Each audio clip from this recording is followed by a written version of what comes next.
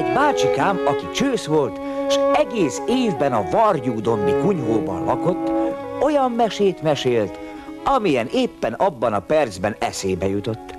Az volt a jó, hogy élni kellett, élni a sok szeszélyes mesét. Így csinált nékem hosszú orrot, kedvet ahhoz, hogy éljek úgy, ahogyan ő élt. Mert ő volt, ő meséje minden hőse, a hónapok és magok ismerője, kinek a nap volt kalendáriuma, szél a nagyapja, parázs meg a huga.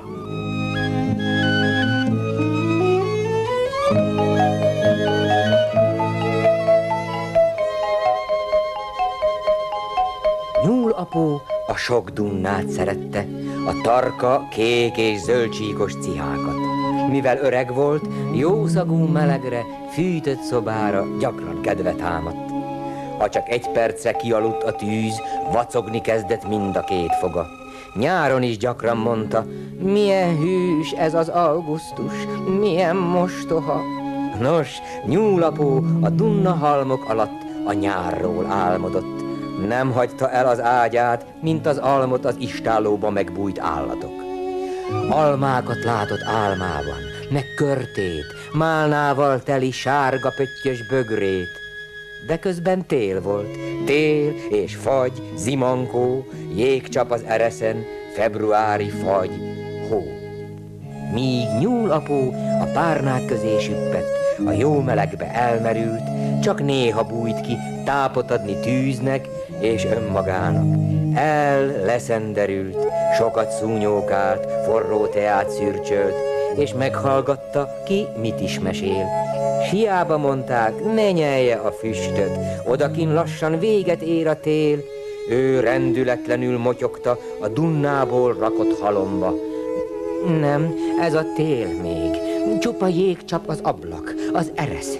Nem a tavasz ez, várjuk meg a végét. Majd, ha elolvad, akkor kimegyek kis időre. Addig ne is szóljatok tavaszról, míg nem csöpög a jégcsap a küszöbre.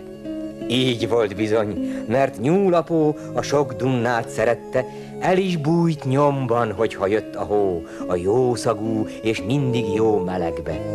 Ez történt eddig, ez vagy kétszáz éve. Míg egyszer, egy szép farsang reggelen megindult a maskarások népe űzni a telet, hogy tavasz legyen.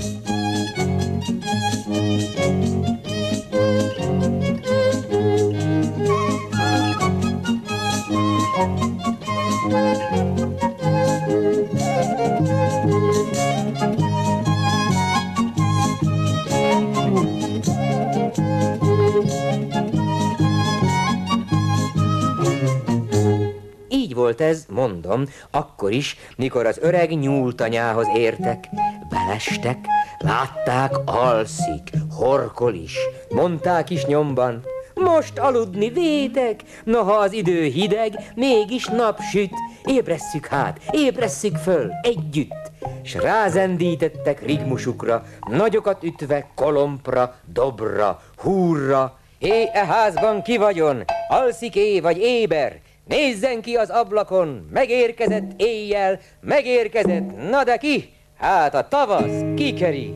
Kukorékoljon a kakas, megérkezett itt a tavasz, itt van, nem megy el soha, bújj ki végre, mormota.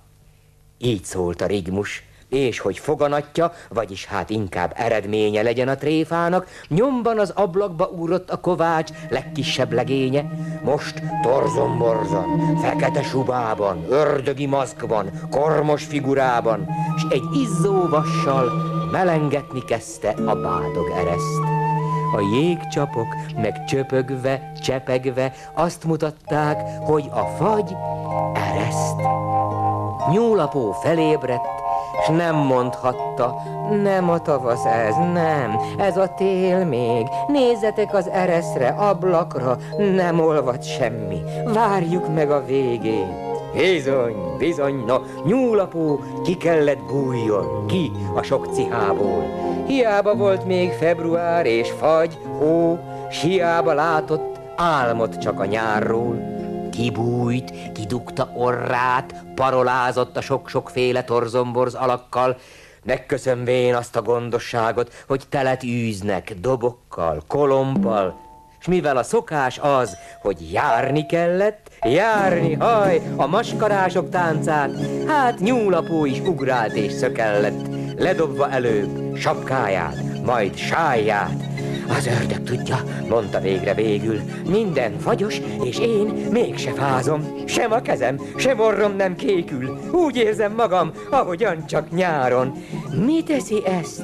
Ha a tánc, a móka, nincs is szükségem több cihára, tolra, nem kellenek csak éjszakára, nappal ugrálok, fürge még a lábom, kifutok a tóra, a csiszkákra, hisz korcsolyám is van még a padláson. Minden így lett. Lekerült a szánkó, melléje még a korcsolya. Már nem zavarta semmilyen zimankó, nem is volt többé mormota.